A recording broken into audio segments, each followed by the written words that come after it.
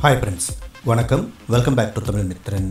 Dhanush நடிப்பில் உருவாகிட்டு இருக்கிற அசுரன் படத்துடைய ரிலீஸ் தேதியை அஃபீஷியலாக அனௌன்ஸ் பண்ணியிருக்காங்க தனுஷ் தற்போது வெற்றிமாறன் டைரக்ஷனில் அசுரன் படத்துலையும் கொடி படத்தை டைரக்ஷன் பண்ண துரை செந்தில்குமார் டைரக்ஷனில் பட்டாசு படத்துலையும் நடிச்சிட்ருக்காரு தனுஷுடைய பிறந்த நாளை முன்னிட்டு இந்த படத்துடைய டைட்டிலையும் ஃபர்ஸ்ட் லுக்கையும் ரிலீஸ் பண்ணியிருந்தாங்க.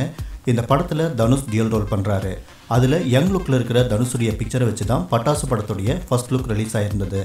இந்த படத்துடைய படப்பிடிப்பு லாஸ்ட்டாக பாண்டிச்சேரியில் நடந்திருந்தது. ஃபர்ஸ்ட் ஸ்கெட்யூலில் ஸ்னேகா கூட நடிச்சிருந்த தனுஷ் செகண்ட் ஸ்கெட்யூலில் மெஹரின் பிசாட்டா கூட ஜாயின் பண்ணியிருந்தாரு.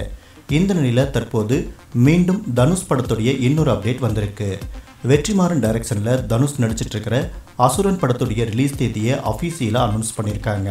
வர ரெண்டாயிரத்தி பத்தொம்போது அக்டோபர் மாதம் நாலாம் தேதி அசுரன் படம் உலகம் முழுவதும் ரிலீஸ் ஆகும் அப்படின்னு தனுஷ் அனௌன்ஸ் பண்ணியிருக்காரு.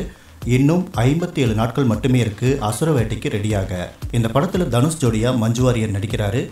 குந்தலகேசி கக்கன் மற்றும் பூச்சி அப்படின்னு மூணு கேரக்டரில் தனுஷ் நடிக்கிறதா சொல்கிறாங்க அதே நேரம் இதில் ஒரு கேரக்டரை கதையிலிருந்தே வெற்றிமாறன் நீக்கிட்டதாகவும் சொல்கிறாங்க டீசர் ட்ரெய்லர் வரும்போது தான் இதில் இருக்கிற உண்மைகள் நமக்கு தெரிய வரும். இவங்களோட சேர்த்து மஞ்சு வாரியருடைய அண்ணனா பசுபதி நடிச்சிருக்காரு.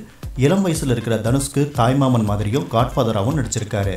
ஆடுகளம் நரேன் பவன் யோகி பாபு தலைவாசல் விஜய் குரு சோமசுந்தரம் ஆகியோரும் நடிச்சிருக்காங்க.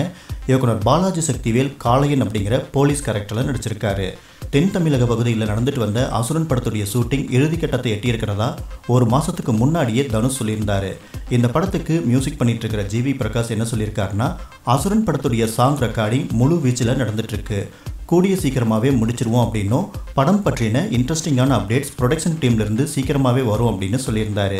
இன்னைக்கு ரிலீஸ் டேட்டை அஃபீஷியலாக அனௌன்ஸ் பண்ணிட்டாங்க.